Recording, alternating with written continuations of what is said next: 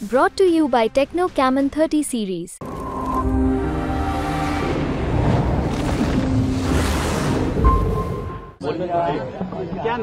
मैं समझता हूँ कि भारत की जनता जो है सबसे ज़्यादा समझदार निकली।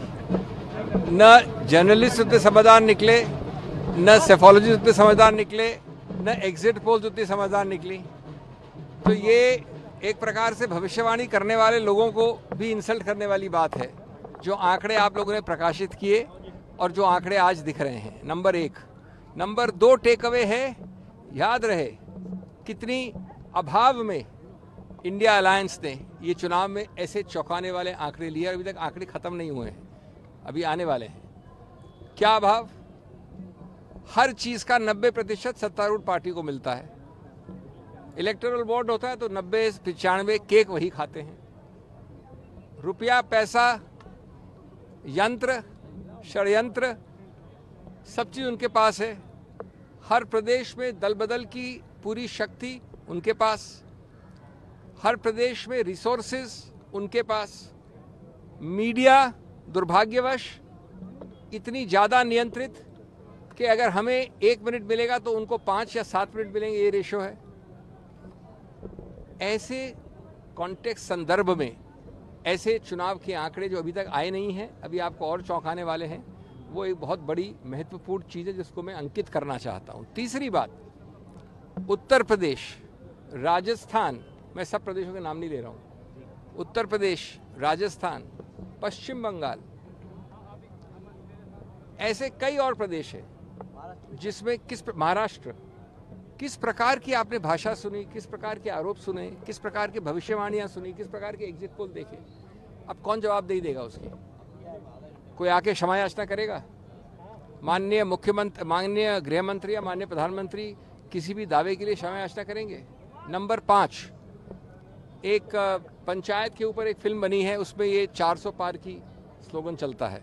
मैंने ट्वीट भी किया है। तो मुझे लगता है कि मुंगेरी लाल जी भी सो गए होंगे इस अंक आंकड़े से स्वप्न लोग भी सो गया होगा ये आंकड़ा तो कहीं दिखने में नहीं आ रहा है। आज तो एक जद्दोजहद चल रही है बहुमत तक पहुँचने के लिए। लेकिन ये टिपिकल सत्तारूढ़ पार्टी एनडीए का ये एक टिपिकल षडयंत्र टिपिकल टैक्टिक है। एक नैरेटिव बनाना चीख चीख से बोलना ऊपर से और आप लोगों को लगाना कि अरे सब कुछ काल काल काल काला है। कोई भविष्य नहीं है। तो इसलिए इन पाँच बिंदुओं के ऊपर मैं आपकी समझ रखता हूँ। मैं पूरी बात अभी नहीं इसलिए नहीं बोल रहा हूँ क्योंकि जितना आप चौंके हैं उनसे कहीं ज़्यादा चौंकने वाले रिज़ल्ट और आने वाले हैं। Uh, मुझे तो आश्चर्य हो रहा है कि माननीय प्रधानमंत्री किसी को इन्वर्टेड कॉम अप्रोच भी कर सकते हैं। ये एक अहंकार और इनफेलिबिलिटी का इंटरसेक्शन था पिछहत्तर साल में चरम सीमा का। अहंकार और इन्फेलेबिलिटी का इंटरसेक्शन जो कभी बीजेपी जनता दल, कांग्रेस, किसी रीजनल पार्टी ने नहीं देखा। इतनी अहंकार और इन्फेलेबिलिटी में आप किसी को अप्रोच कर सकते हैं? अब क्या हो गया छप्पन इंच छाती को? I will just repeat in English very quickly. Will you- will you will you allow me to repeat in English? If you speak in between, nobody will hear anything.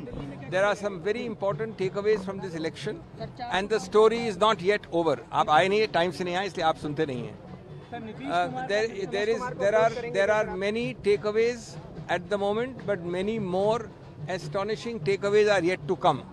So I am giving you less than a trailer. I am going to speak on the picture in the evening. Number one point, please you can't interrupt. Hindi में मैंने बोल दिया. I am speaking in English. Please don't do this. ये स्वार्थ की बात हुई ना कि आप हिंदी में दूसरे आदमी को बोलने देते इंग्लिश में. I am starting again. Please don't interrupt me. This is there are several takeaways from this election. The principal takeaways I will just point out, but it is only a trailer. The picture is remaining. I will speak on it in the evening.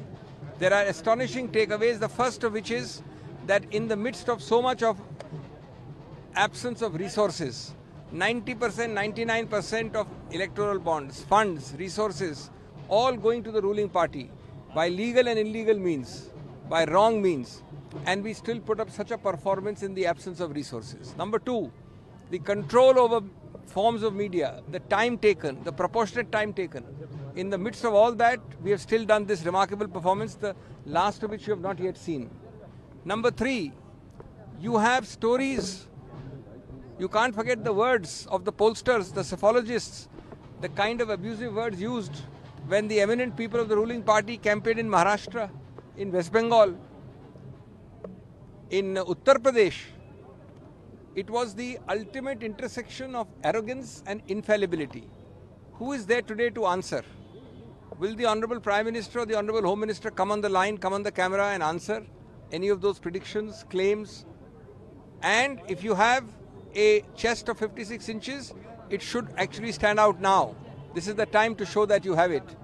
Number four, I am surprised that you are asking questions that the BJP or the Prime Minister will approach Chandrababu Naidu. I thought that arrogance and infallibility meant that you are not meant to approach anyone. You are God's gift to mankind, and therefore, how should you approach anybody? Others should approach and bow down to you. So, I think, as I said, we are going to give you more astonishing figures soon. But at the moment, the result is already scripted. Fear is writ large on those who have spread fear all along for the last 10 years. And today, the most important takeaway I would say is that people want consensus. People want sajidari. People want participation. People want a wider spectrum of Mili-Juli Sarkar, not the dictatorial writ of one king. So Thank will you. Nitish Kumar become the part of this military We are Sarkar not of talking TDC? of anything yet. We are now talking of a lot of results yet to come. There'll be no need for many of your questions. Just wait. इंतजार करिए